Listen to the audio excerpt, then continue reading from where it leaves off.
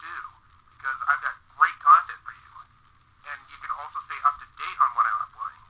Well, until next time, this is the Real Recruiter signing off. Bye-bye. See ya. Thanks for coming.